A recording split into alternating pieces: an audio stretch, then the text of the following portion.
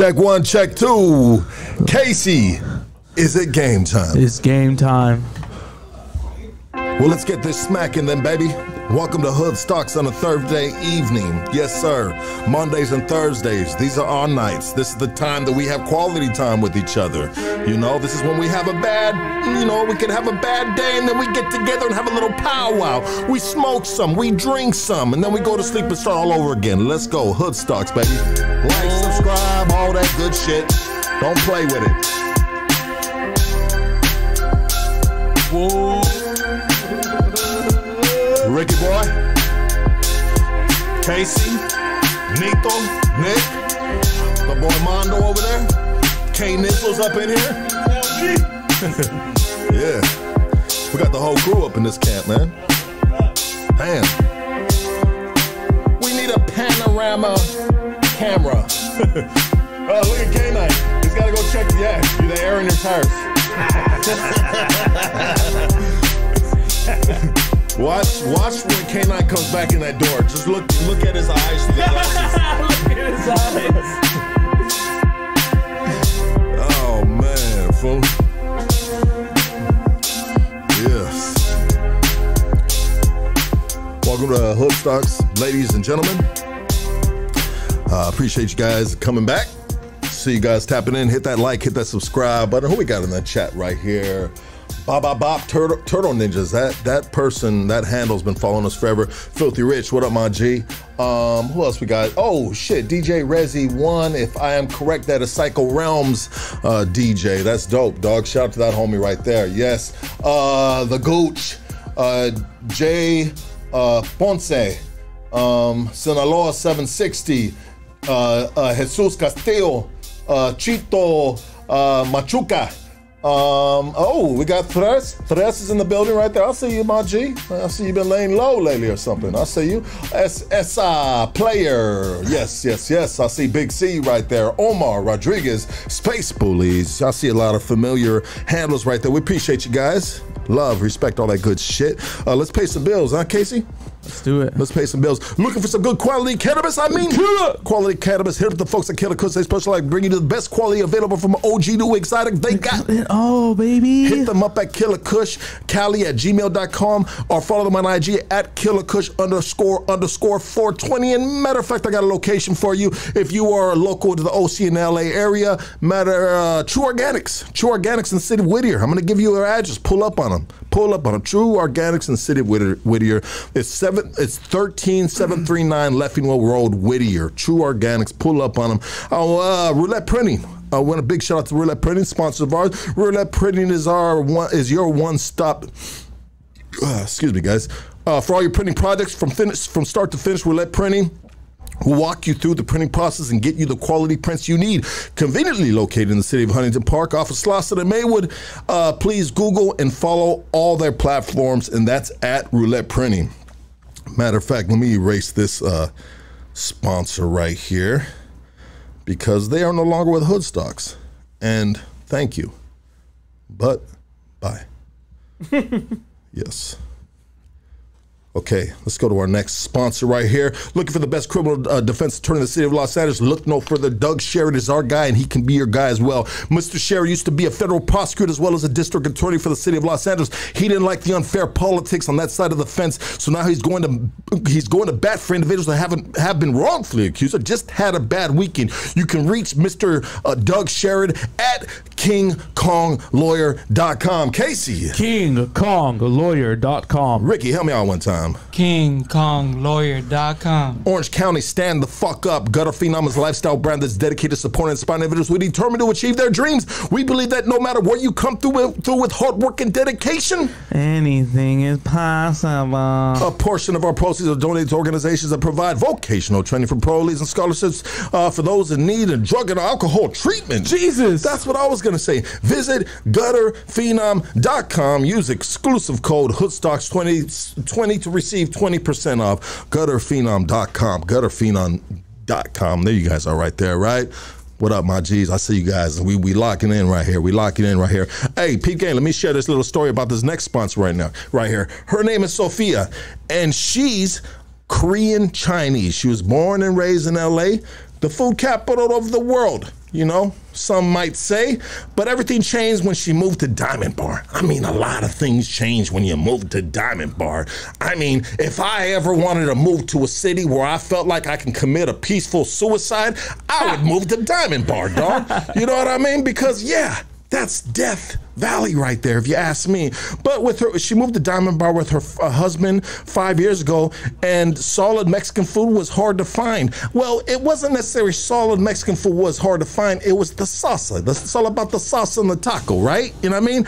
Anyways, somebody just modified this. She missed LA, especially the fire tacos and burritos, but realized all you needed was some bomb hot sauce with any taco. Man, this is written all fucked up. Who rewrote this? All you need is the sauce with 50 15 years of experience, she tried making the ultimate red sauce for those in a Mexican food desert. Did that's, what she, that's what she wrote, but she had it in first person. So I changed it to uh, third person, which I mean works. Ouch. You want me to finish it? No. And it turned into a business. There King Taco was her inspiration. Inspiration, so she named the red sauce Queen Cali. All right. My favorite part is that the sauce is made without any preservatives or dyes. Right. You can find the hot sauce on her Instagram at queencali.redsauce or on her website queencalisauce.co. Order through Hoodstocks with the promo code Hood15 for a 15% discount. Woo!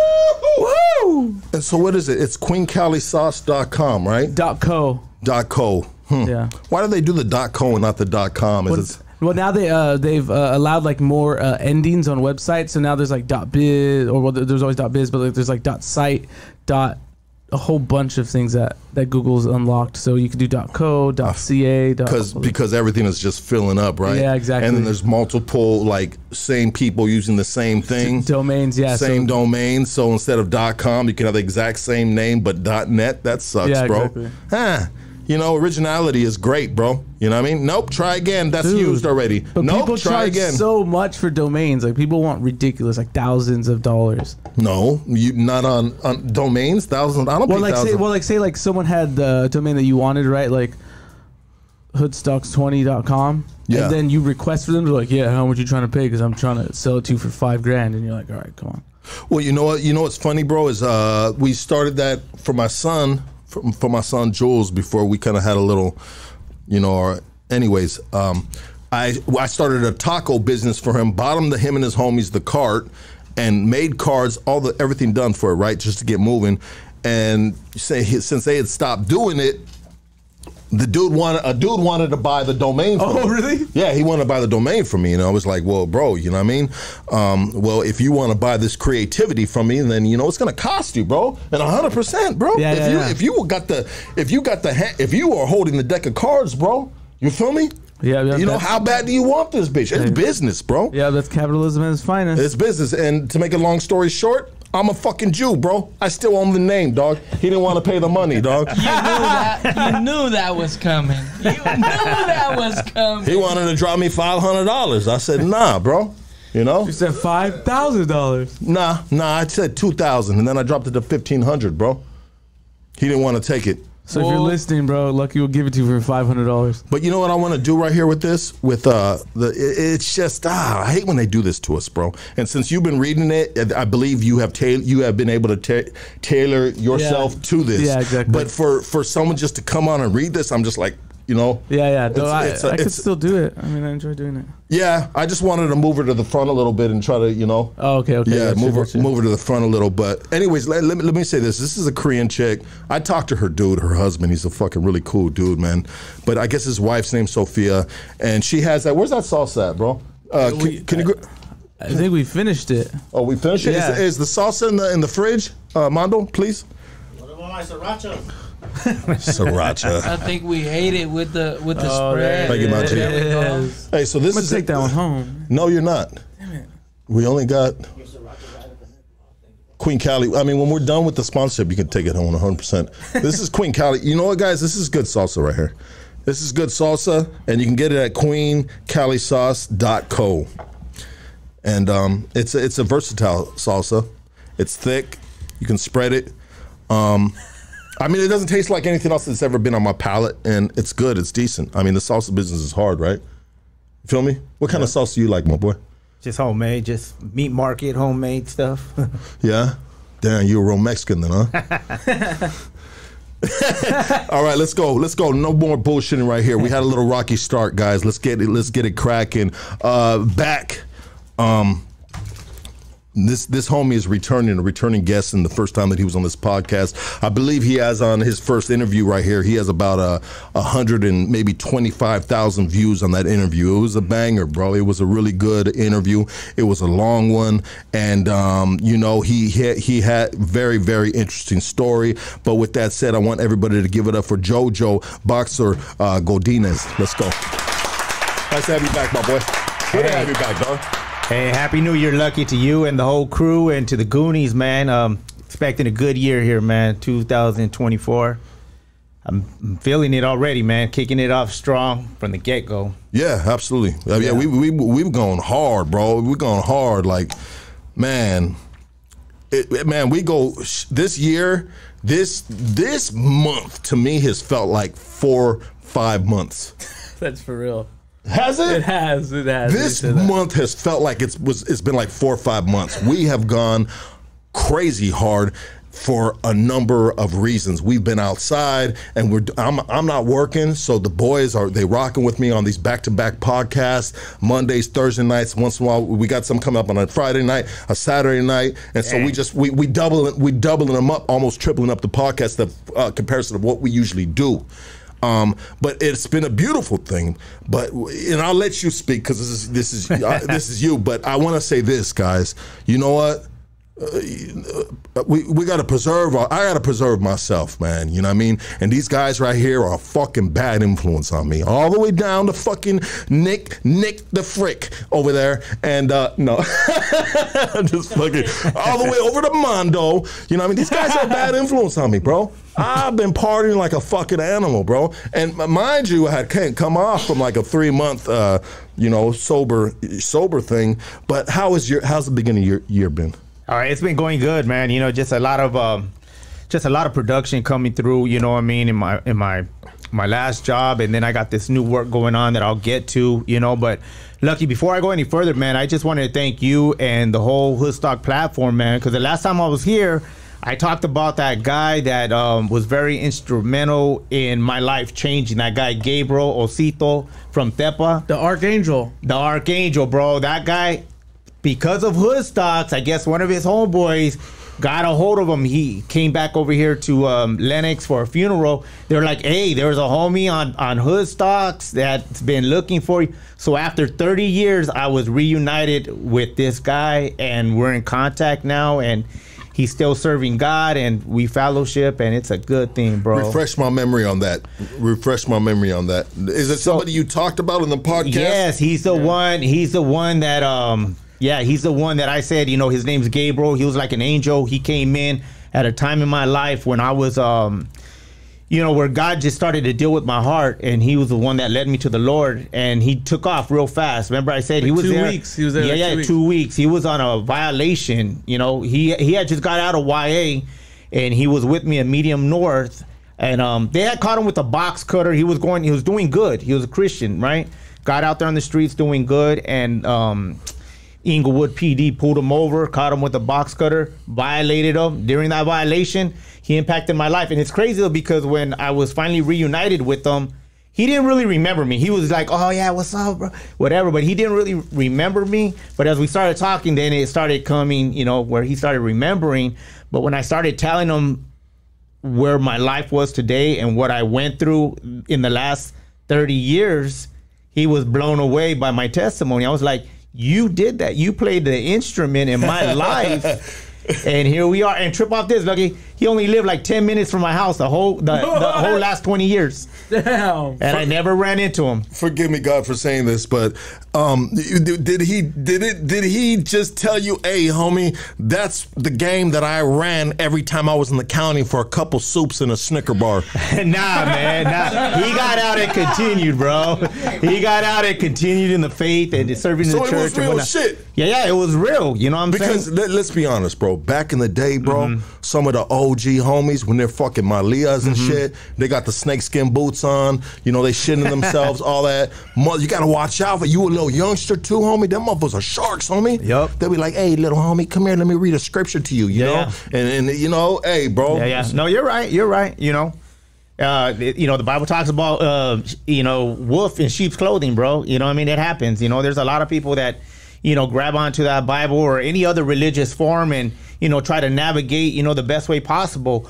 But I believe, though, you know, Gabriel coming in my life at that time, I be- really believe he was God sent. And, you know, my life is evident from my encounter with God because, you know what? I ended up doing almost you know, the next uh, 13 and a half years, almost 14 years serving the Lord. And I got out and I continue to this day, Lucky. You know, it's 30 years since I made that commitment. You know what I'm saying? So there are real encounters. You know, when I had that encounter with the Lord Jesus Christ, nobody could tell me different. And like I said back then in the last story, is that I wasn't looking for God. I was I was kind of happy with my standing and where I was. You know what I mean? I felt like I had a good name, a good reputation. I was on the right road to where I wanted to go.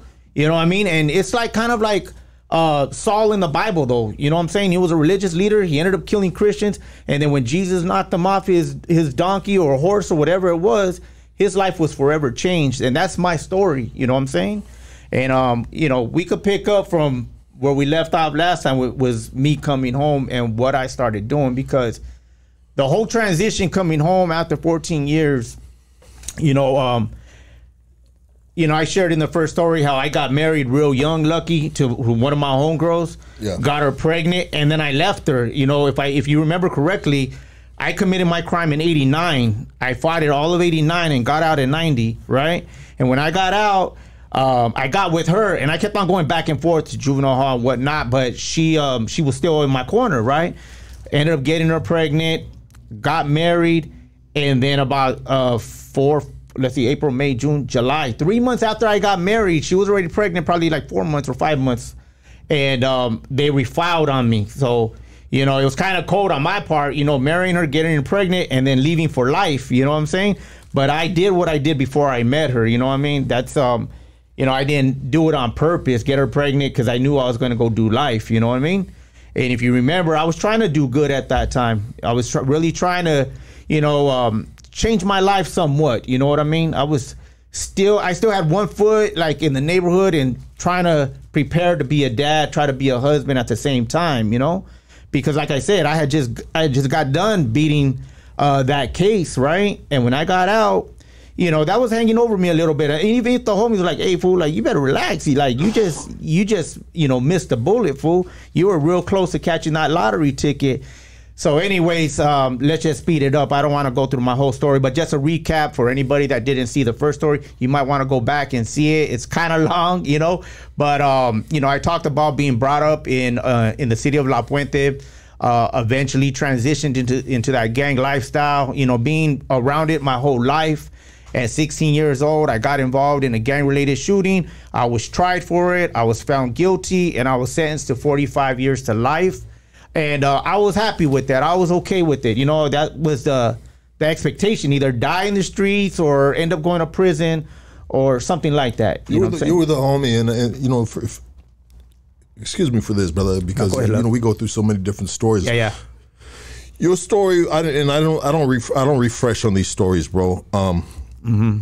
but I do remember all stories, and I and I think this was a part of your story. Was first base where the homie got killed? Yeah, the blood on the ground. On the Oh yeah, yeah, yeah. That was my one of my homies. Yeah, yeah, Okay. yeah, yeah. My Okay. homeboy Jesse.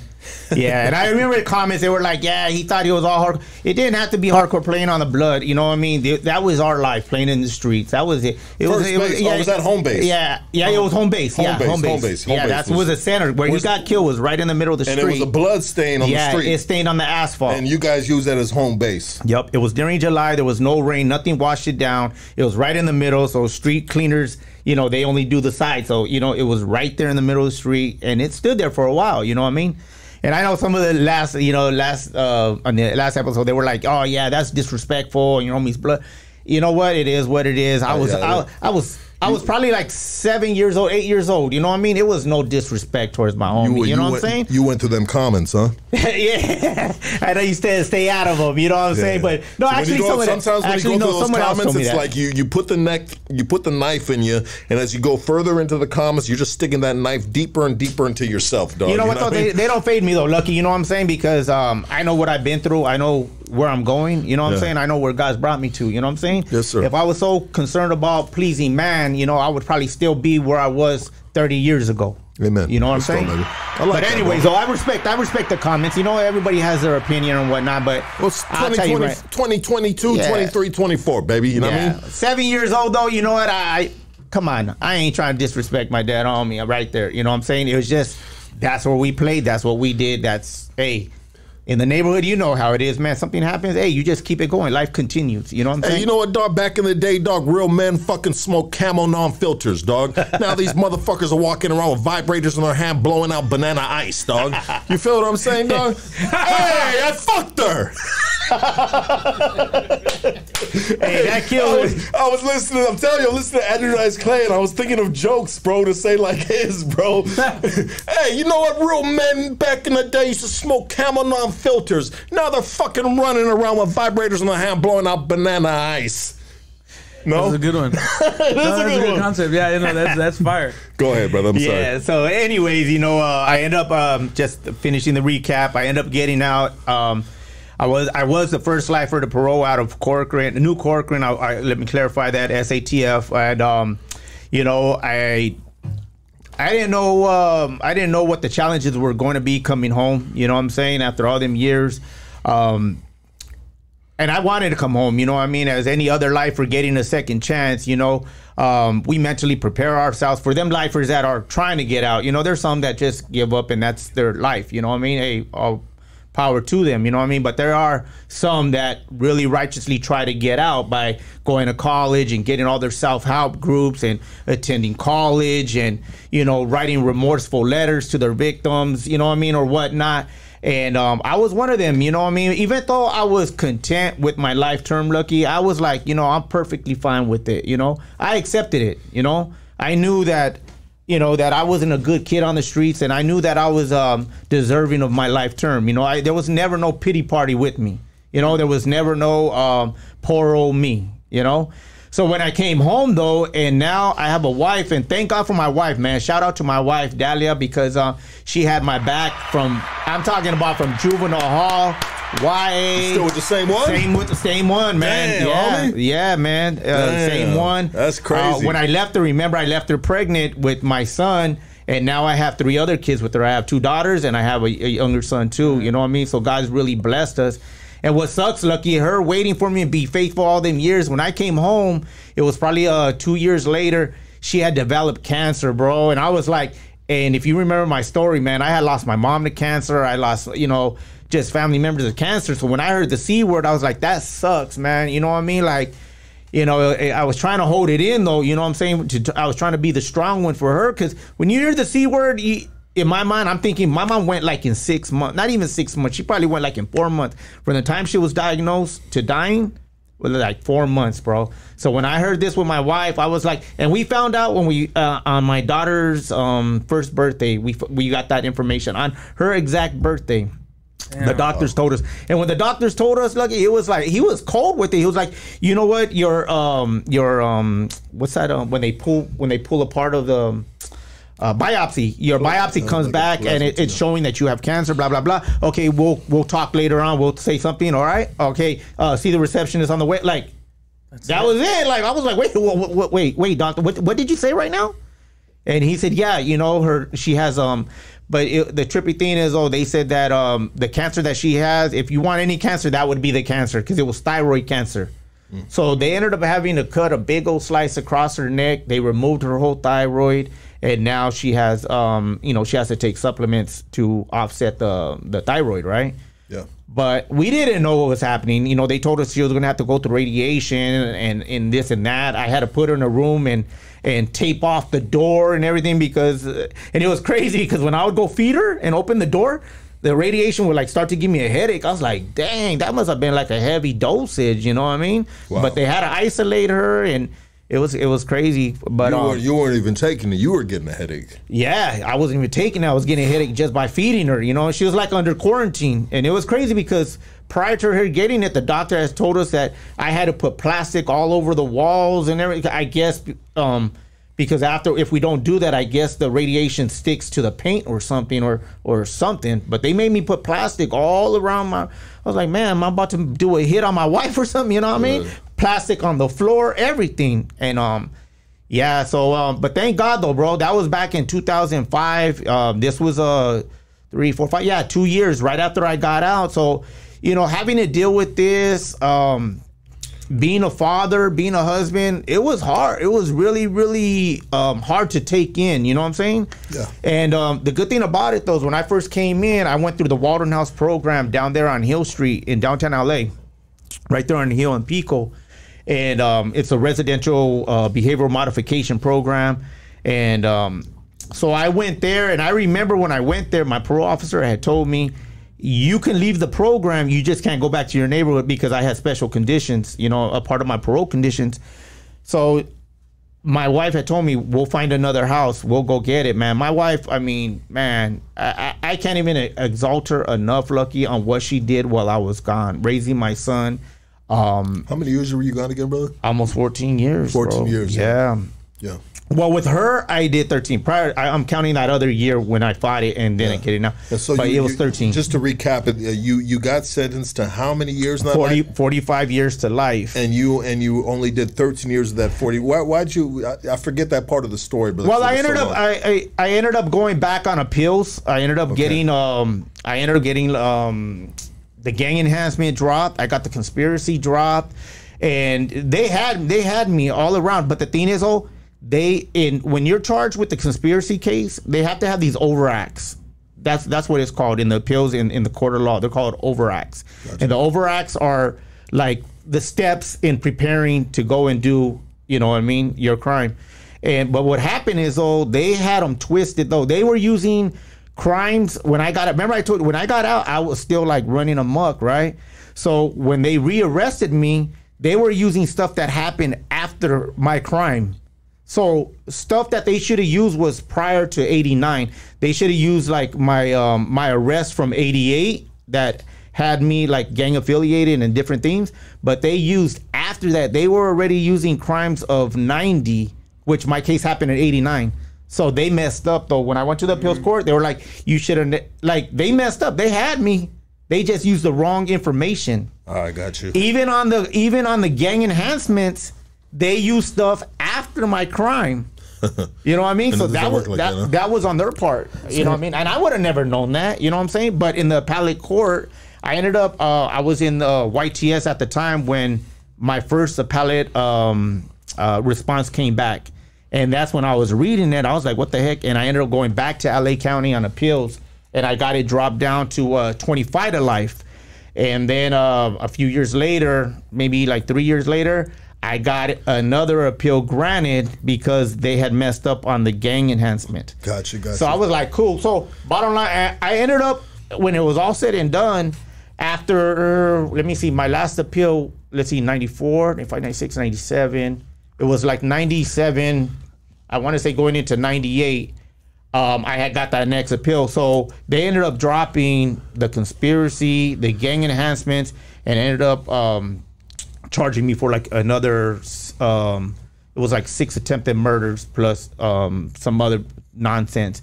But when i got out though lucky it was as if um like i said i was preparing to go home if it should ever happen. And when i went home the struggle became real bro where i loved my wife i loved my son but i didn't know how to discipline my son. And my wife you know that's one thing my wife said, like, hey, that's your son. Like, you need to start disciplining him, man. And here I am trying to be the cool dad with him because I hadn't been a part of his life all them years. So let's let's back it up real quick, and we'll only back it up a little bit. So this is where this is where we start the new story of today's podcast. We gave you guys a little recap. Yeah, yeah. Of uh, and you guys are welcome to go back and it's, it's a banger. I mean, the shit got like 125,000 views on it because it's that good, and the dude is very uh, thorough on sharing the story. Um, so you did the you did the uh, 13 years. Mm-hmm. So now you're out And how old is your son? My son was uh How- 13. He was you- 13 Okay, now. so your son's Yeah. 13. Okay. Yep.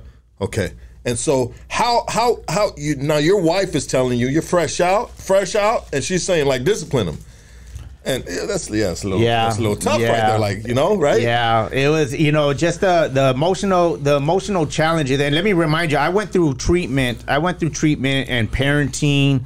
I went through um, couples. There, there, there's so many groups, you know, so many different certificates that I did in there. You know, as a lifer, whenever there was a sign up for for some self help group, we were like the first to sign up, right? Yeah. So I when I paroled, I had like maybe about a hundred certificates. You know, I don't know, maybe a thousand hours in parenting, thousand hours in anger management. I had all this stuff, so I was like, okay, I'm ready to face society. So when I come home, you know, I'm still in the program. I'm in that residential program in LA. You know, uh, my Walden House family was helping me how to, because it's kind of like you're. It's kind of like you're still in prison because you're there with. Uh, there was like probably 90 other um, parolees. The only way you get in that pro- program is from prison. So you're there with all these parolees, but on the weekends you're able to go home and uh, for eight hours and whatnot. But during them eight hours, they were stressful. Look, and my wife, I remember my first pass, my wife was so pissed off at me. And my, my, my house was clean and everything, but I went and I like double scrubbed my house. I started cleaning my house. My wife was like, What are you doing? Like, just come and hang out. You know what I mean? And I was like, I just got, I just, I don't know. You know what I mean? I don't know what my trip was, but She like, come get some of these chocolate chip cookies, homie. She's like, come over here and chill, right? And so I'm there and stuff. And um, so I ended up staying in that program in downtown for about six months. And then I finally go home. And I stood there lucky because every time I went on a pass, my heart would be beating fast. I was kind of like real anxiety being with her, being with my son. Uh, like I said, I'm trying to be the cool, the cool dad with my son, trying to understand him and stuff. You know what I'm saying? Like, um, but my wife, man, you know, I'll say this much: my wife was, she was probably worse than my parole officer because she didn't want me going nowhere. We lived right by a park. We ended up getting a house by a park, and we would, me and my son would just take off, right? And my wife would come home from work, and we weren't there, and um, um. We would get back and she would start yelling at me, Where where are you at? Why didn't you leave a note? Blah, blah. I'm thinking like, man, I'm a grown man. You know, I'm with my son. Like, how you gonna try to check me like that? You know what I'm saying? She's? Mexican, right? yeah. Yeah, of yeah, yeah. Mexican American, you know what I mean? She Yes. was born here, but uh, Yeah. she was so concerned about me getting picked up, you know what I'm saying? Waiting Yeah. all them years and stuff. And um, yeah. Yeah, so it was real hard, bro. Real hard. Um, arguing with her. I didn't know how to argue healthy. You know what I'm saying? Mm. Yeah, yeah. Um, I still don't know how to argue argue healthy. I know one way to argue, bro. That's the good way, bro. You know what I mean? but, but Who the hey, fuck locked the door over there? Who the fuck locked the door? man, you got homeboy, you got homeboy all mad again. Look at him. No, it was the second time that's happened, and that's important, bro. The guys don't get trapped out out there, bro. Dang. And they set the chair up like it makes it look pretty in the front, bro. Like, oh, I'm gonna set the chair up right next to it too. It looks like it's our porch. but I think arguing is is is uh, you know, some people are good at it, bro. Yeah, no, I learned healthy ways. We learned healthy ways to argue, but What's a healthy way, bro? But is healthy a way- healthy, is a healthy way a fun way though? That's what I want to. Uh, I don't think it's I don't think it's fun. There's a lot of resistance and there's even some compromise in So it. is it is it even considered arguing then?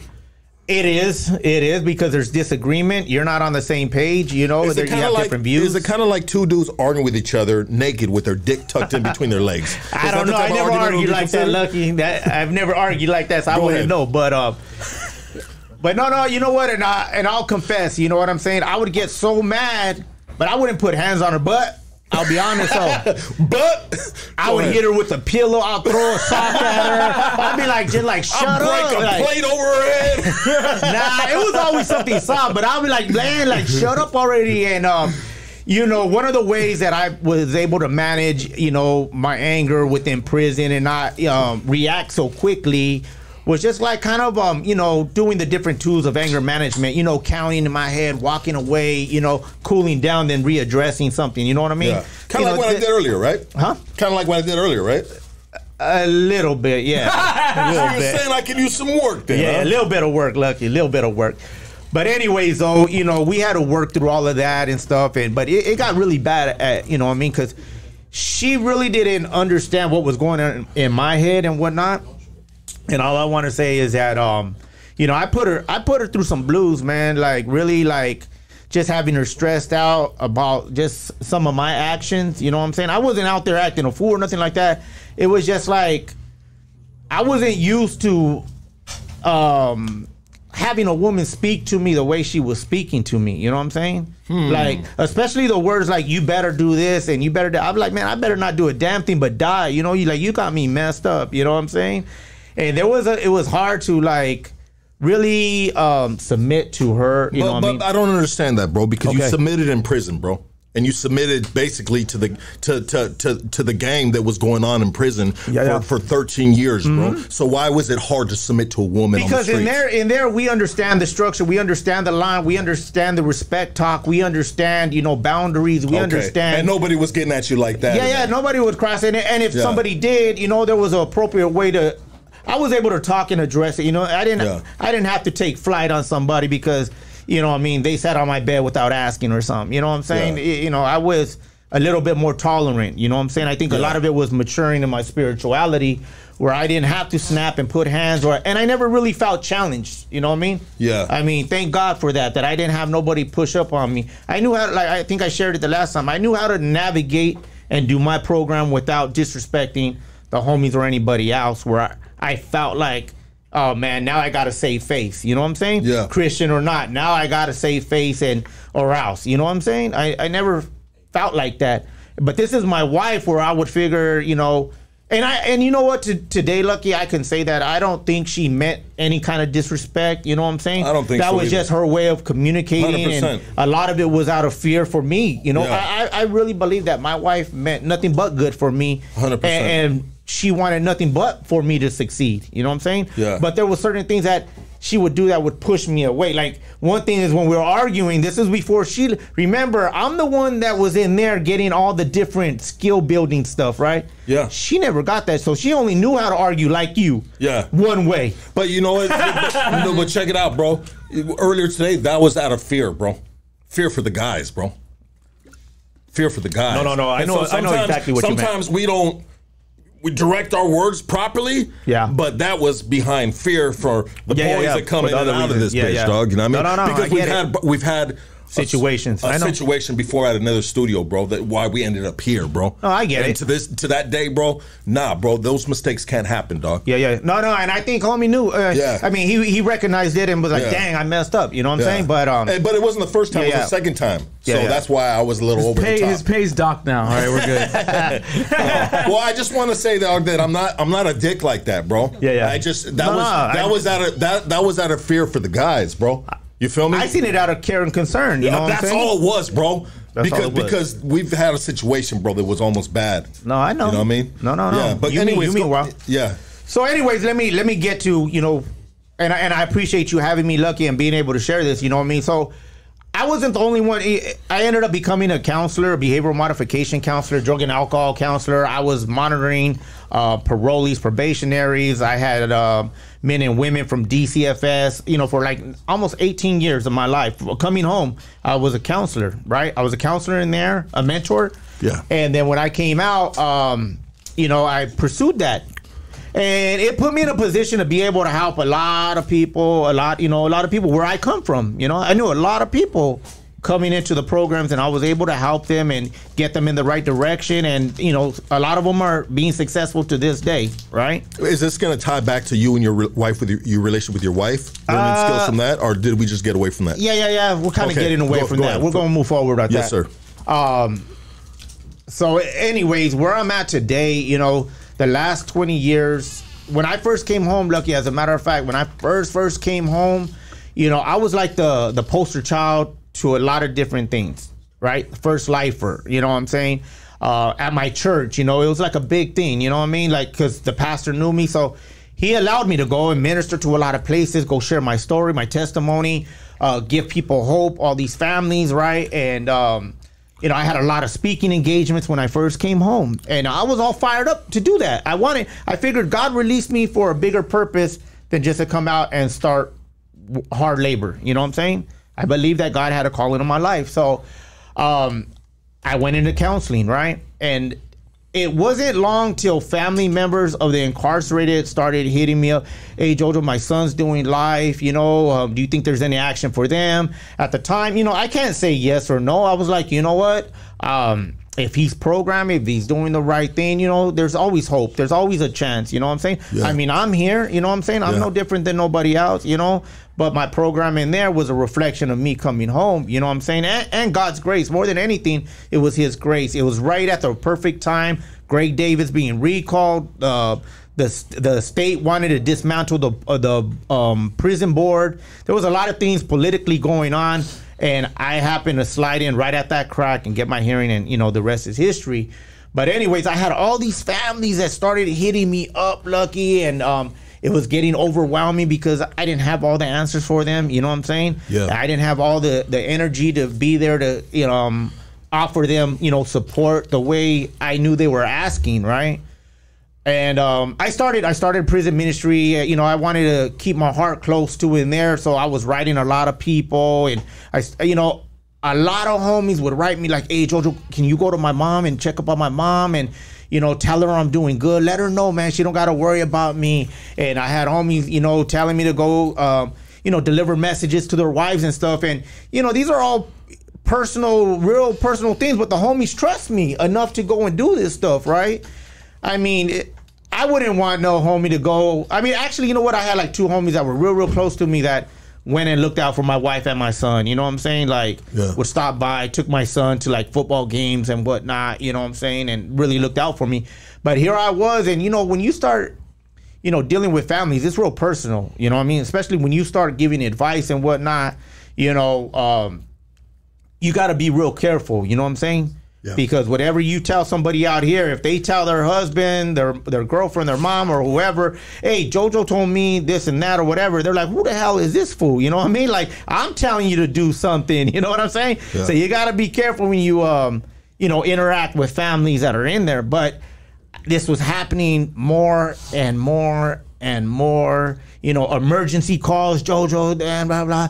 You know, uh, my husband called me and he's cussing me out because of this, that, and that, and I'm like, what do you want me to do? You know what I'm saying? Like, it's none of my business. You know, you need to handle that or whatever. And um, so anyways i had all this but at the same time i started adding to my family i started having more kids you know i started working two jobs i didn't have a lot of time for all that stuff that i was doing when i first came home right so anyways uh the last uh, probably like, like the last two years um god's really been speaking to my heart um to go back and doing that stuff. And I was my, my kids are older now. They're you know one's in college, one's in junior. Like they don't really need daddy there all the time. You know what I'm saying? They need me, but they're not really dependent as they were when they were babies and younger kids. Me having to drive them around, all this and that, right? But the last two years, um, I really started engaging with people. These families are still hitting me up. Homies are still, you know, in there and telling me, hey, you know, and, and my name gets thrown out there a whole lot of being able to help somebody, whether it's with drugs and alcohol, whether it's homelessness, whether it's getting a, you know, um, employment. You know, somebody will call me like, "Hey, my son's getting out. Can you help him with the job? Can you help him with this?" So I've been having that's been that's been like the whole course of me being free while working, while being a father, being a husband, you know, doing all of that. So let's bring it up to the last two years is when God really started speaking to me about re-engaging in that. So I have these people that are out of state, Texas, Oklahoma, uh, one in New York, and I'm like, I don't know their prison system. I don't know anything about how it functions out there. But these parents, I understand their hurts. You know what I'm saying? Because when when God started dealing with me, He started reminding me of what I put my mom and dad through. You know, throughout all them juvenile hall years. You know, them coming up with the brown bag. You know, with some lowrider magazines, some teen angel magazines, uh, two bars of soap, shampoo, whatever, and. The, the hardship that I put on my mom, being in the box, beat up, you know, my mom's shivering, like, what happened to you? Why are you in this box? Like, I'm good, mom, don't worry about it. Like, I put my mom through a lot of stress.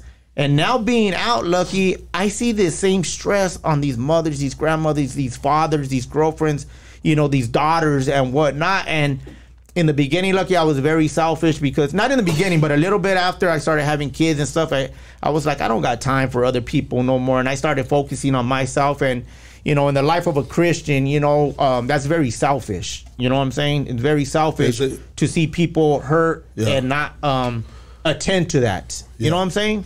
It's just, it's, it's, it's not good Christianity to, for something to be brought to us and for us to shoo it away. Brush it to the side. And, Yeah, like you know what? Like they'll figure it out. Like you know what?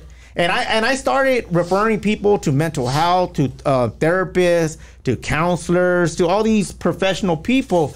And they would always come back to me. Lucky I couldn't shake them. They would come back like, "You sent me over here. They don't understand me. I- I'd rather pay you." You know what I'm saying? And I was like, "There's not enough money in the world for you to pay me for me to um, deviate from what I'm doing, right?" you sure about that? Well, they were offering to pay me, but I was still Yeah. like, I don't got time. You know what I'm saying? And it, and I wasn't really feeling it.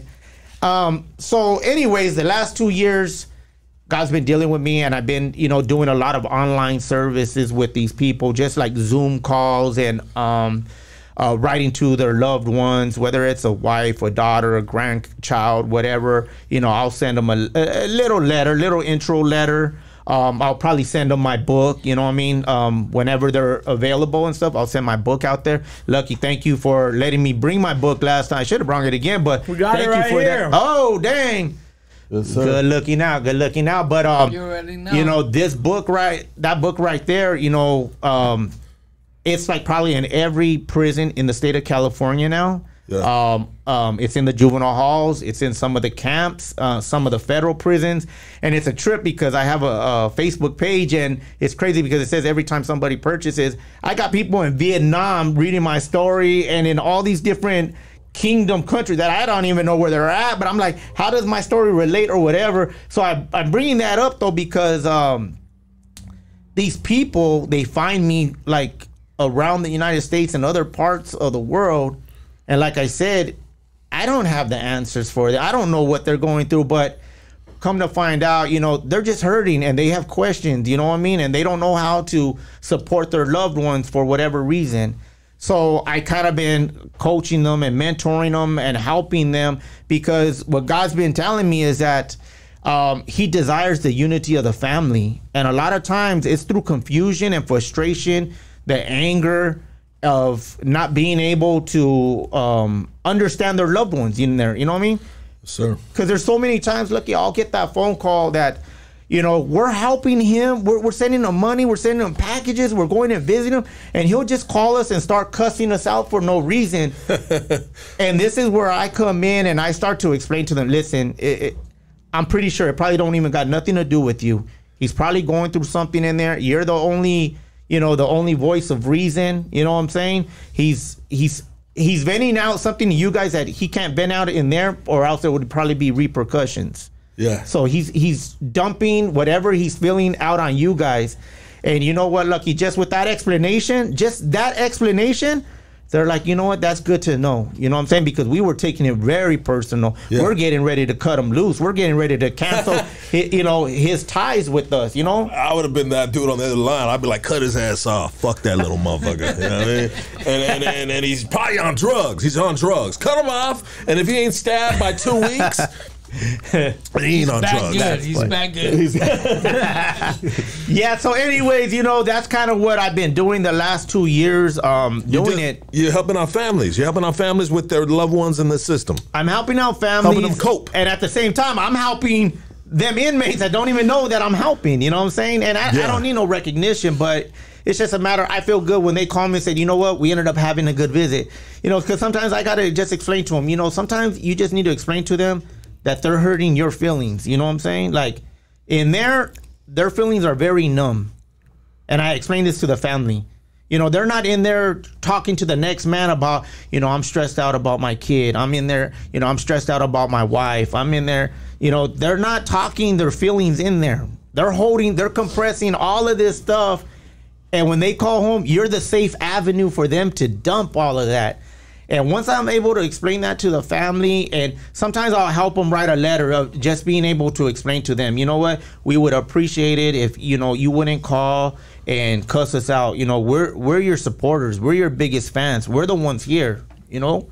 And um, they'll come back and tell me, man, we had a great visit with them. Thank you. How much do we owe you? And I'm like, nah, I'm good. You know what I'm saying? Like, like God bless you guys. You know what I mean? You guys um, deserve to be happy. You know, and it happens over and over. You know, just yesterday, um, I got another um I got an Instagram message of this girl telling me, you know what I mean, that her um it's two of her brothers and her husband are doing life and um her her family are first generation um um what is it called first gen um from Mexico here, you know what I mean? And they don't speak good English and they're having a problem dealing with visiting. They have they are always wearing the wrong clothes. You know, they don't know what to wear. You know, they, so they get there and they they send them to friends outside and they put them in these clown suits and Friends outside. so it's like just simple information, like you know Yeah. what? Tell them they can't wear blue jeans, whatever, Yeah. to to minimize the frustration. You know what I mean? Yeah. Telling the mom or the wife or somebody, don't wear a wire in your bra, or else they're going to humiliate you. They're going to end up stripping you down. They're going to look for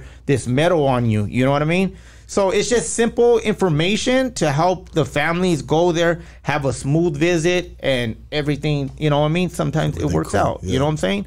So with all that being said, that leads me to um, I ended up talking to some friends, uh, to some people that do some online stuff, and um, they were like, "Man, you're like coaching these people and stuff, man. You need to like get a website, because you're like handling out more and this and that." So. Um, I started this program called Trapped Families. yeah. and the podcast, right? the broadcast. I have a website. I have an online community where, um, let's just say, you know, like wives, mothers, uh, fathers, all these different people. They go into. It's like a. it- It's like a. a- So it's an actual website it's an actual website. with links to your podcast and everything and different things, huh? Yeah, yeah, yeah. Okay. Yeah, different that to coaching calls to different um different things. But the online community, that's like the main aspect of what I'm doing because what it is, it's a 24 it's a 24/7 um um link. So you get a password, you know what I'm saying? And then you get in there and then let's say it's me uh, and my wife's busted. And I'm like, man, you know, um, she's having a hard time right now. She can't.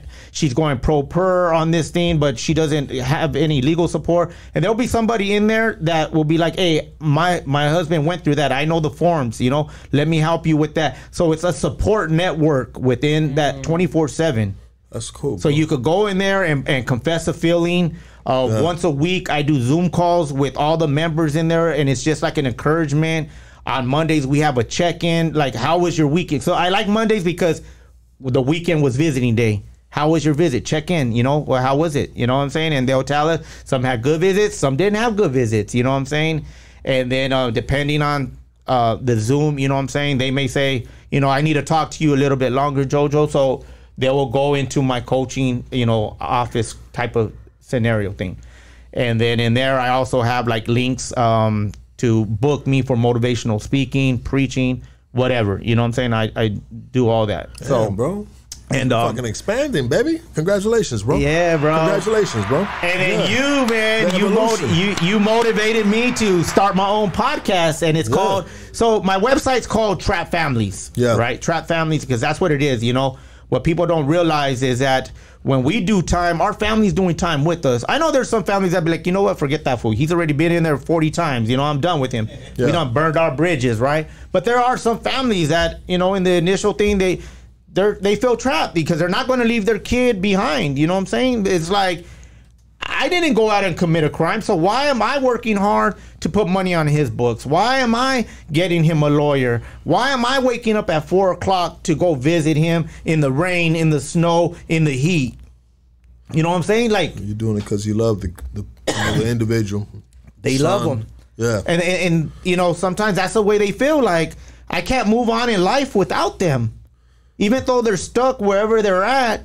We're stuck here. I have families that want to move out of state because they don't want to be here paying all these high taxes in California, but they won't leave because their loved one's incarcerated. They're like, once he comes home, we're out of here.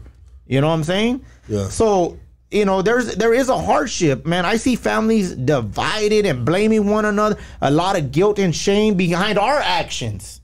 You know what I'm saying? And no offense to, you know, the inmate, man. You know what I'm saying? I know we do what we do. We get in there. And, and I could say for myself, Lucky, I had it easy in prison. You know what I'm saying? And what I mean by that is, yeah, uh, yeah, I saw the stabbings, I saw the battery packings, I saw rebar going through people. Yeah, I saw the gunner shooting people. Yeah, I saw a lot of traumatic stuff, right? But I didn't have to pay taxes. I didn't have to go out every day and work. You know what I mean? Going to KP job, that ain't like working out here, waking up early, uh, being with my sick kid. You know what I'm saying? I always tell people because I'm always being invited to speak and um, share my story. But I'll be like, man, you guys need to hear my wife's story because that's that's the gangster right there. You know what I mean? Yeah. Holding two jobs at a young age, got her own house at the I think she was like 23 years old. Got her first house, bro. With nobody's help, no co-signers, bro. Just- Never on welfare. No offense to anybody on welfare, but never got on welfare. Never asked the government for nothing, bro. She worked two, even sometimes three jobs, bro Damn. just to make needs meet for her home, you know, to take care of me. You know, even though I wouldn't ask her, I mean, she wanted one thing about my wife, man. She wanted me to be close to my son. And she beat cancer, man. She's a superhero, bro. Real For shit. real. Yeah. Shout out to to wife. Let's take a break and we're gonna be right back. Casey, let's get these uh, next uh, half of the ads, bro. We're gonna have to get Sun on speed dial. Oh yeah, yeah. Hold on, hold on. Let me get to this over here, Yes, everybody. Big love to Apeish OG. You can cop all the amazing flavors of Apeish OG at OG Nation in the city of Maywood. Come get your flowers and edibles. OG Nation is a one-stop shop for all your cannabis needs. All right, so follow them on Instagram at apeish underscore OG. That is at apeish underscore OG. If you need any jewelry or cash loans, our personal jeweler, D. Leo the jeweler, has multiple companies who approve financing for his jewelry. All right, let's say you want the jewelry, but you want to pay monthly. Well, they use one of their finance companies. They send them the payment, and you get your jewelry. All right, it's that simple. Also, if you're low on cash and need some money, they are offering up to 5K loans with no credit check. All right, you have three months to pay it back with zero percent interest. There's no loan in the world that does that. That's amazing. For any questions, please feel free to reach out to him on Instagram. That's at d.leo the jeweler. That is at d.leo the jeweler. All right. all right. Let me get this. Let me get this one set up right here. What up? Hold on, no, not yet. For, not yet for you, son. Prepare for blast off and embark on an interdimensional journey of self-discovery and exploration like never before. Introducing the exclusive Rick and Casey interdimensional gummies. Your passport to Rick inner- and Morty, brand it right, sir. It's Rick and Casey. Look, look at the look at the packaging, dude. Yeah, but, That's- but look, the, look, the look. first time was funny, but now you're taking away from his sponsor, bro. It's Rick and Morty, Rick bro. and Morty. It's Rick and Morty. Rick and Morty, guys. Look up I Rick and say it at the end, but yeah, all right. Lucky's a killjoy. Um, interdimensional Bro, gummies. you say it like that every time of- now. Unlock, yeah, because it's fun. People want these because you. Can, But they're going to be looking for Rick and Casey, not Rick and Morty, the actual name of I mean, the dude's brand. I mean, they know who's paying for the sponsorship. They know you? it's satire, dog. I mean, come on. The, Rick not, and Morty, There's not five-year-old kids in the chat. Let's go. Unlock your mind's eye to allow senses to But it can finally be come alive first time without listening. strings that strain your perception of the world. With Rick and Morty gummies, you can experience you. all that and more. Make sure you give these dudes a follow on Instagram. That's at Rick and Morty Gummies Official.com and tap in with them on the Telegram for more info. Link is in their bio. Hood Stocks is brought to you by Dynasty Me. Dynasty Me is a podcast with love and support. So please go to YouTube and hit that subscribe button.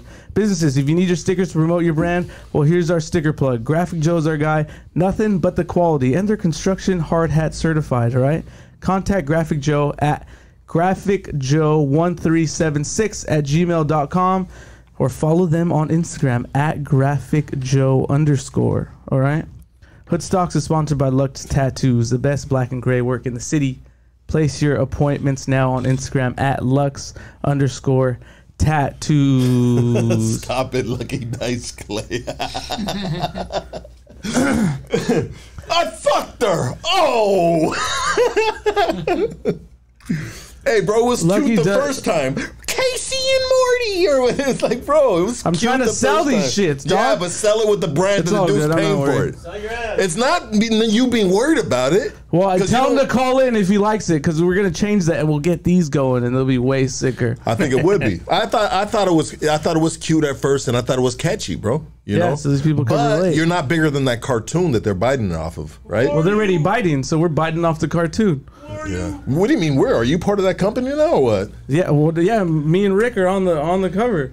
Whoa. That's why I drew a little hat on it. That's why I said, "What do you mean we're on the cover?" and I put HLP on the. Oh, you even changed the fucking packaging? this fucking guy, bro. We're just having fun, guys. I'm with sorry. someone else's money, bro. Rick and Morty, man. Rick and Morty, bro. Come on, dude. Have some fun, dude. Lucky's got his G string in a fucking wad today. guys.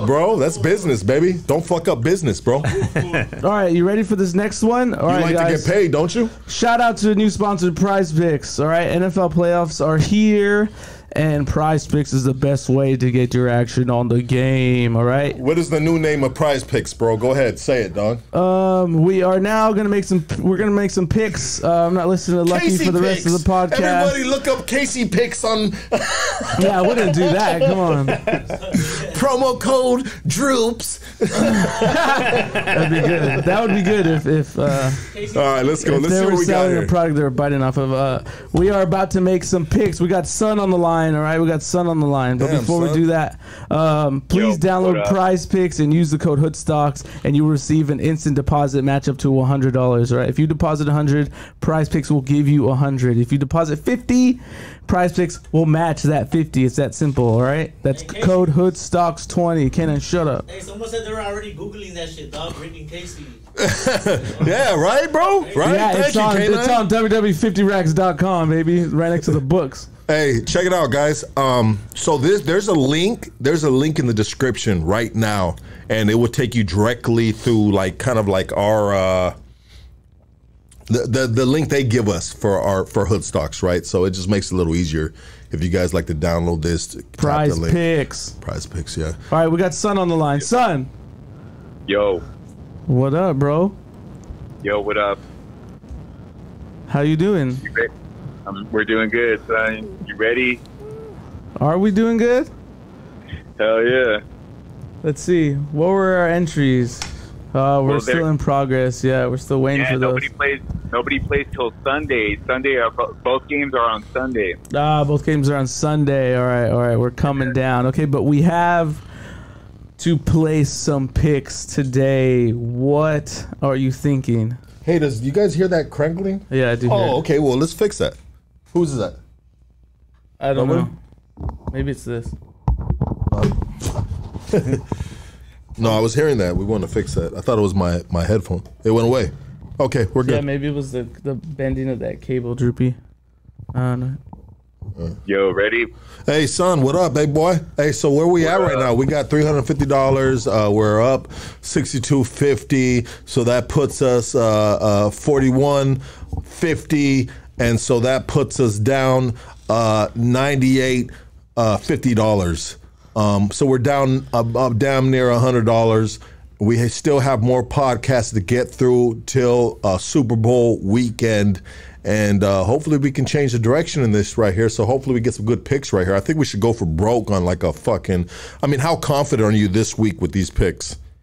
We're confident, dude. I'm telling you, you're Let- good. Let's let's do it. Let's do a banger, bro. Like let's put a hundred bucks on some shit. Not well, not all out, but a little out. Let's put. If you feel real confident, let's put like a hundred bucks and do some shit, dog.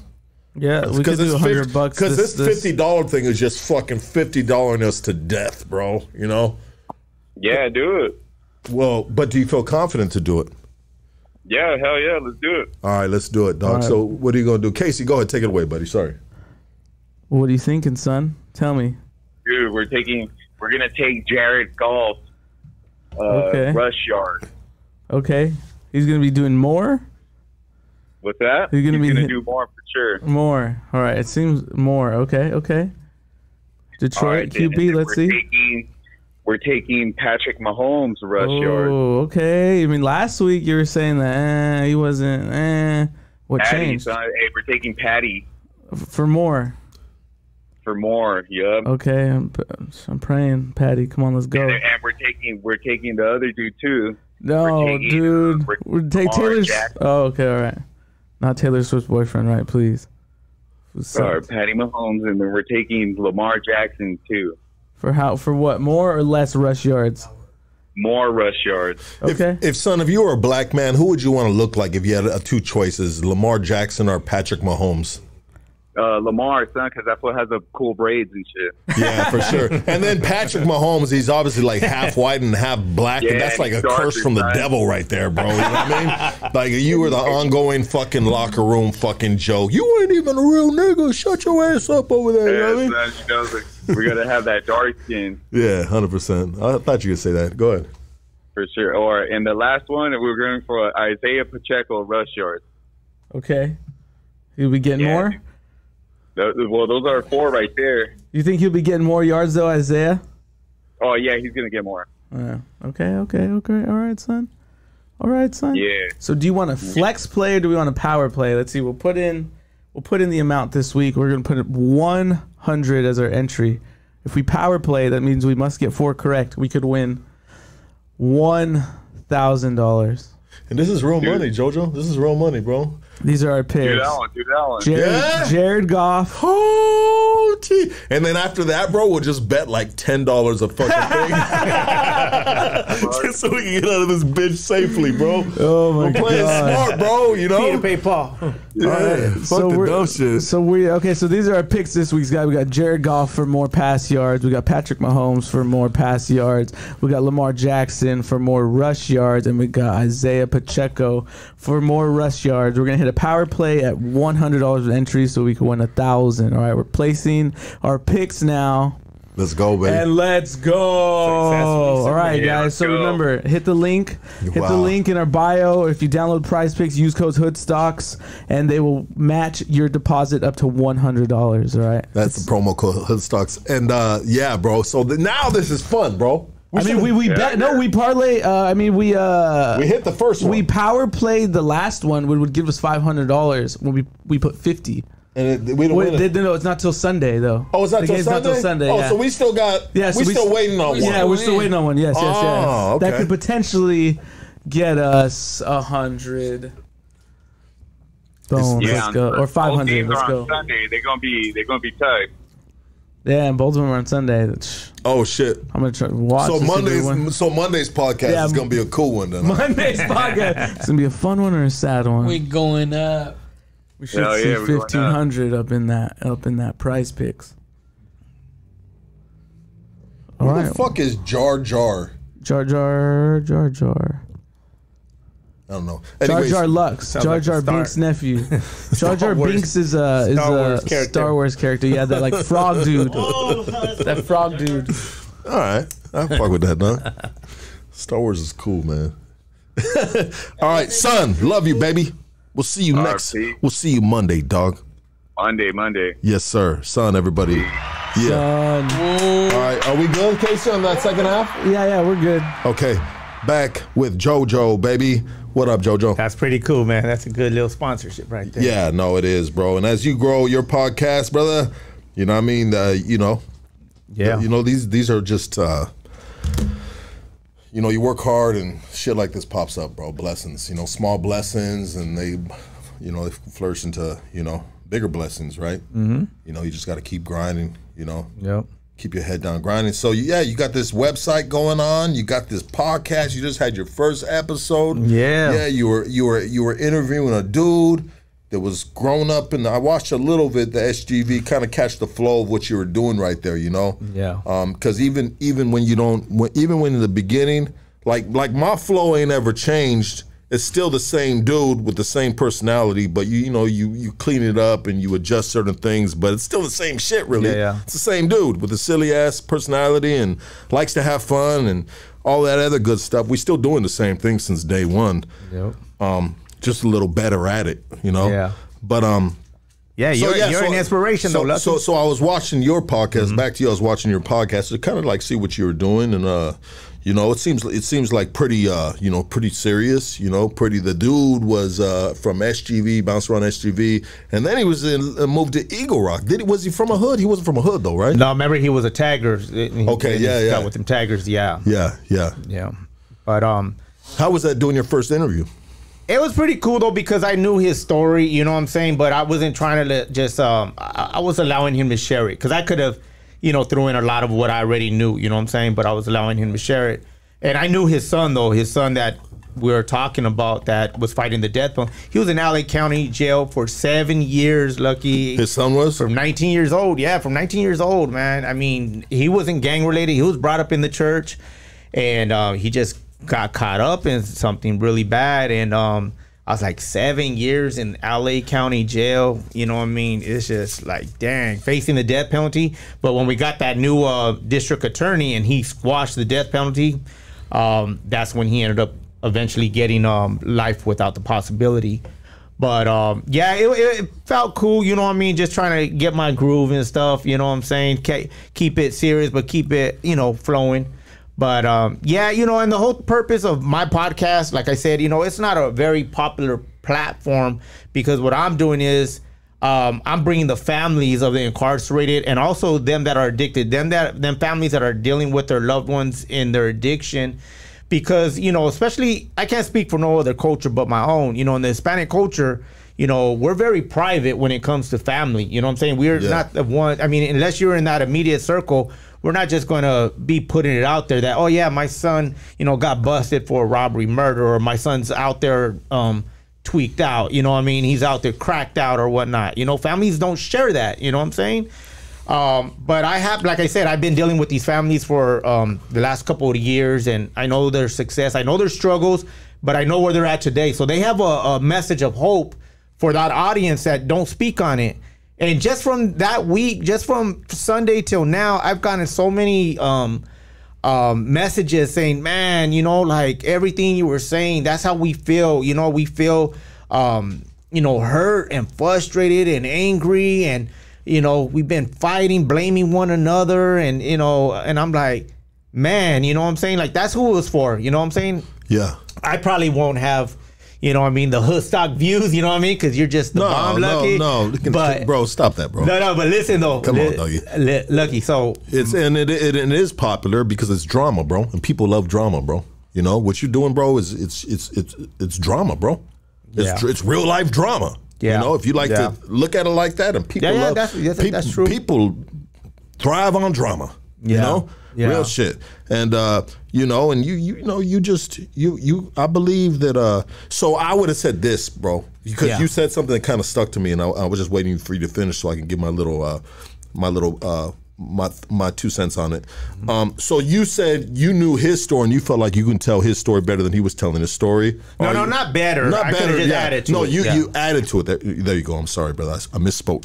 Um, but sometimes if you know somebody's story, bro, then that's even better, bro. And you feel like if they're struggling sharing it, and you, You can know, help pull 'em you up. got a little more gift to the gab. You can Yeah, be like, yeah. well, you know what, dog, I know you, bro. You know what I mean? yeah. Bop, bop, bop, boo, and you can direct them, and Yeah, man, yeah. man, he'll start getting a little loose, Yeah, bro. yeah. And you know, so and that's know, why I felt comfortable though. You know what I mean? Because I knew him, and I, I didn't really feel like I had to pull out from him. You know what I'm saying? Yeah. Uh, there was times when I had to bring up certain situations, and he was able to elaborate on it. You know what I'm saying? Well, I, I heard you on one part of the interview. You were like, "Well, well, come on, bro, uh, give me some more detail."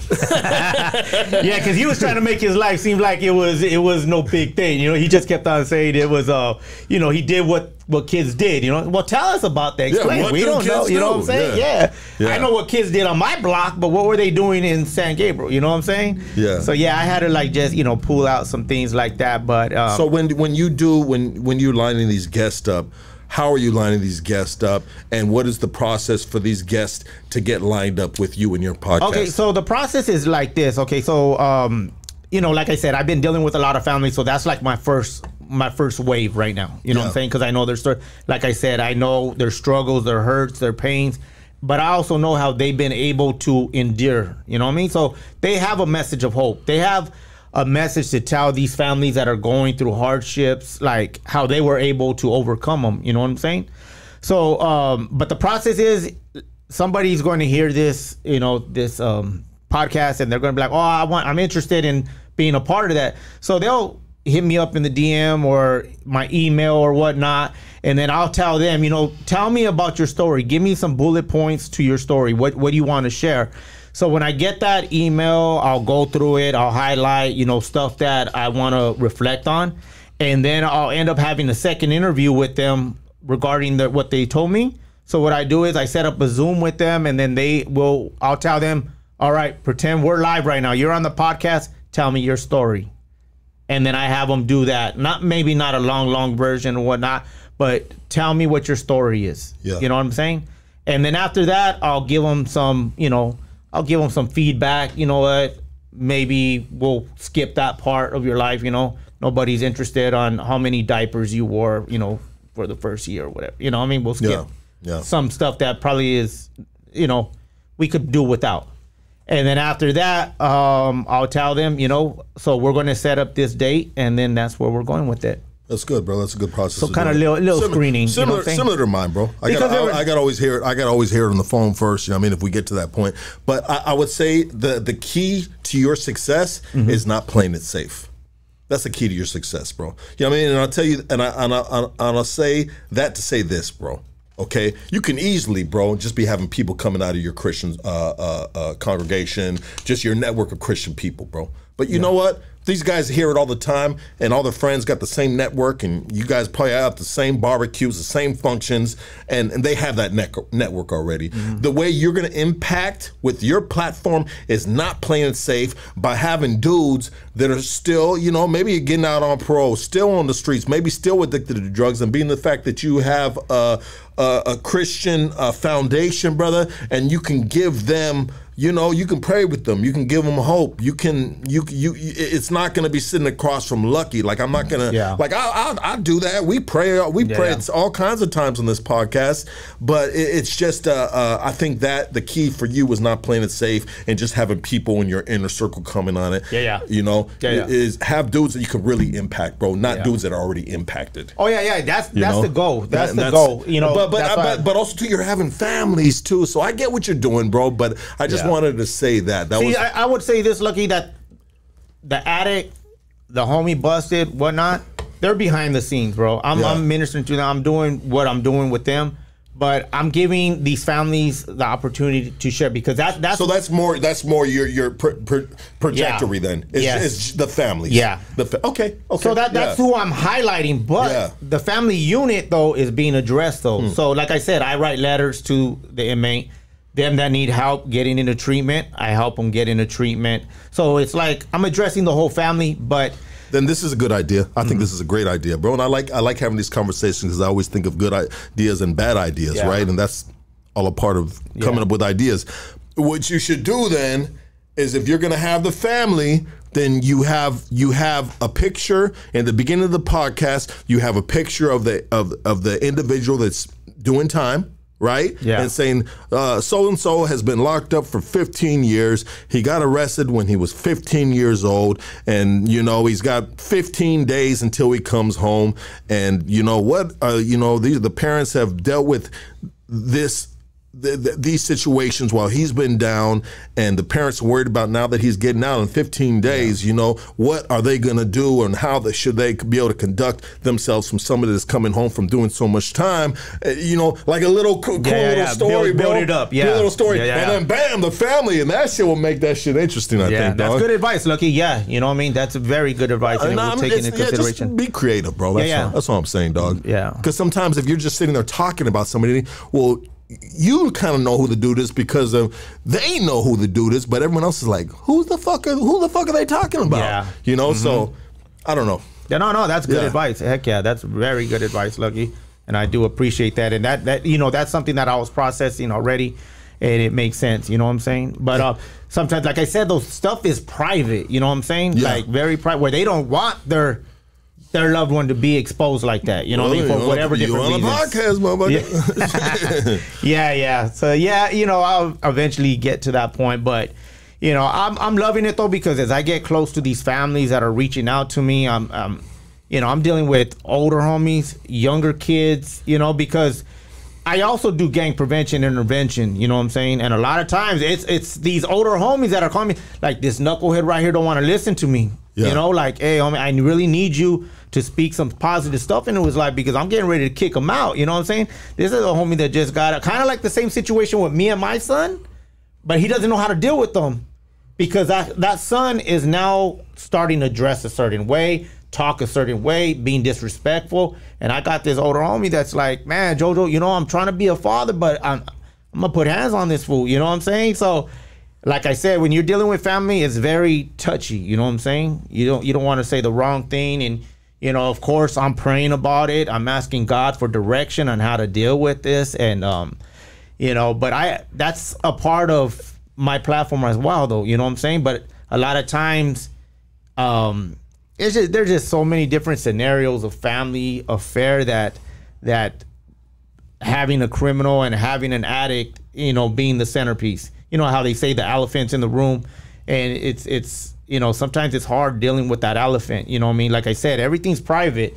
You know what I'm saying? A lot of times, I feel, I feel the private part about it. I hear what Yeah, you're saying. you know, yeah. but once you start a podcast, bro, it's no longer private. and, you know, and they're getting Yeah, in front of that camera. You know what I mean? Yeah, yeah, that's why that's why I go through that procedure and I tell them, you know what I'm saying? I said, um, it's not easy sharing your story, you know what I'm saying? I mean, you got thousands of people viewing it, and here we are pretty much getting naked saying this is my story, you know, as honest as and I usually try to be as transparent as I can, you know what I mean? I'm not going to throw a bunch of junk out there, but who I am is who I am, and I'm gonna speak it. You know what I'm saying? So I tell people though, you need to be like ready to put yourself out there because you're going to get the ridicule. You're going to get the man, just shut up, chalk it up. You know what I mean? Like get over it. You're going to get all the remarks that you're going to get, you know, by Yeah. being online. You know what I'm saying? So I do give them that warning and coach them on that part too. You know, so it's a it's a challenge, but you know what? Lucky by God's grace, um, we'll see where it goes. You know what I'm saying? Yeah, I believe that He's the one that dropped it in my spirit. I ran with it, so uh, I'm gonna be faithful in that area. So whatever happens, hey, Amen, brother. Amen. Yeah. You know, I want to give a sh- big shout out to my girl right now. She's probably watching and shit. She's been keeping an eye on my social media lately. I don't know why. You know what I mean? But I'm, you know what, babe?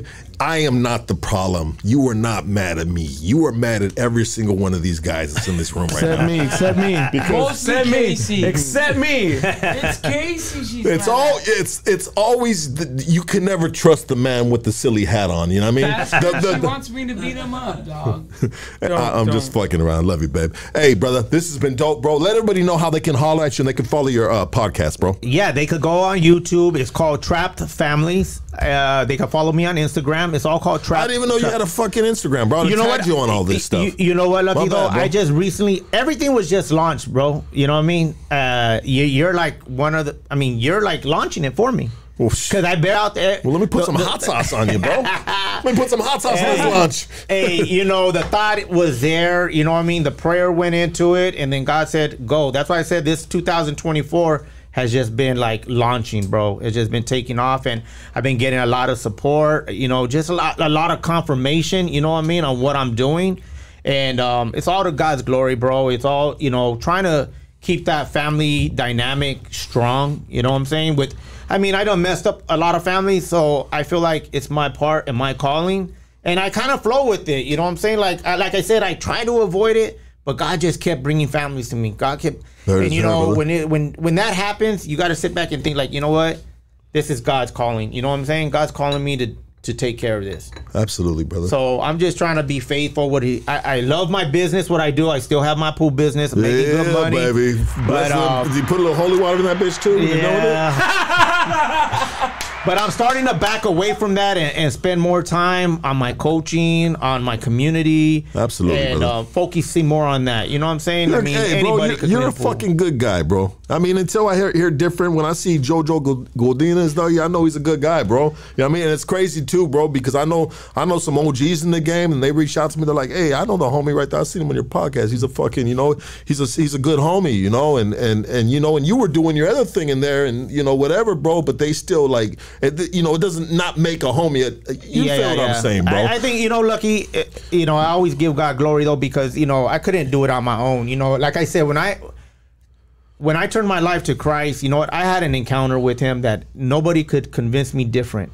You know what I'm saying? And I've always tried to be a man of integrity. If I give my word, I'm going to keep my word. You know, Yes, whether sir. it was right or wrong, I, I was going to keep my word.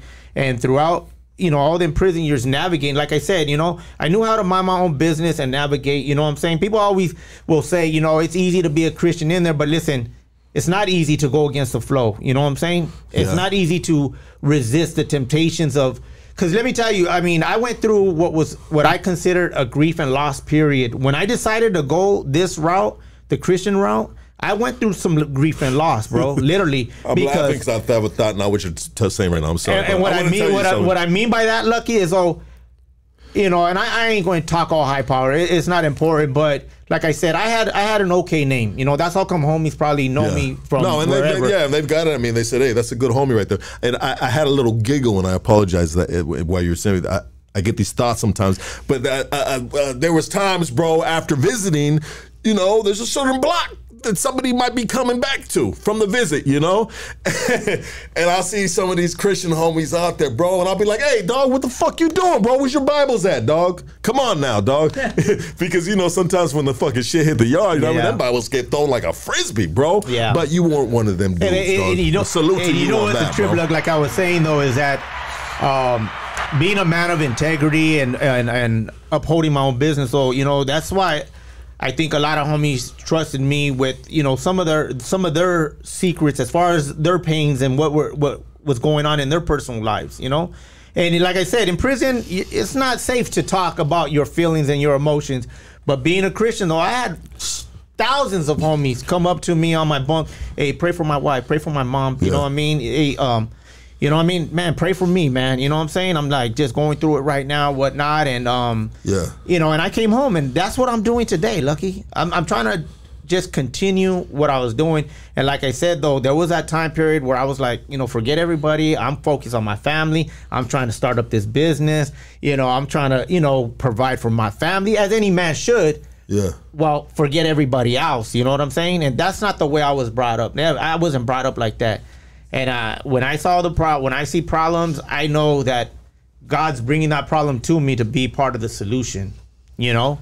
So, anyways, that's that's where I'm at today, Lucky man, and um, I appreciate you, man, for allowing me to be on your platform and being able to share what what God's doing in my life today, man. So it's called Trapped Families. T R A P P E D, like trapped and families. Trapped Families. Families on Trapped Instagram. Families. You guys Yeah. get you know go out and support this brother right here. Uh, you know, he's doing good work, man. He's a positive dude. He's a real dude, and he's really about the life that he's he walks. You know, and you got to respect that, hundred percent.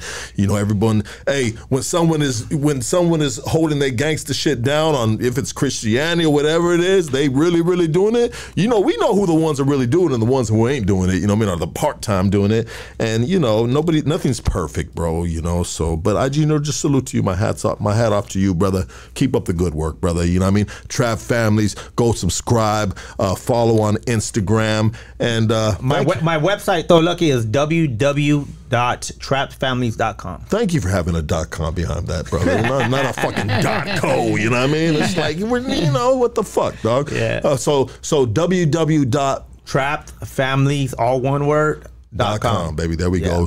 Jojo Godinez. And you got your book on Amazon too, right? Yeah, yeah, I got my book on that book Amazon. right there. Yeah. Show them that book right there. That camera right there, brother. Yeah. So it's called Reformed. If you go on Amazon, you go in uh, Barnes and Noble, or you could download it on your phone. It's on the app, uh, Apple app. Um, you can find it on a lot of different um, library, online libraries and stuff. But this is my story. Uh, my wife shares in here. There's a couple of testimonials of some other lifers, and um, yeah, you know, it's um, That your wife shares in there?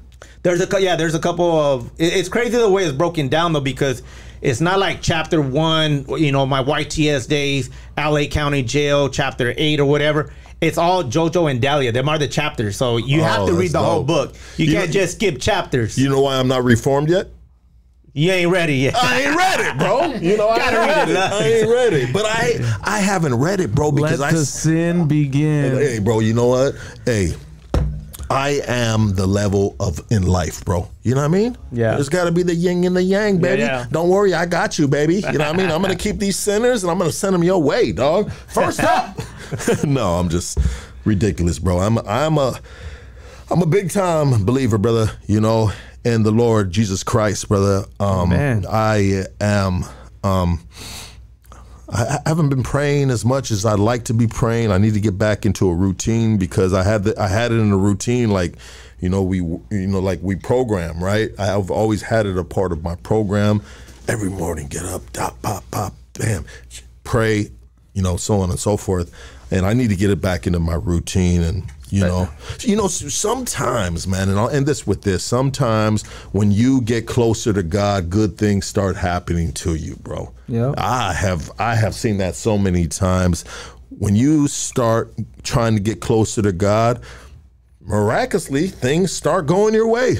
Who would have thought?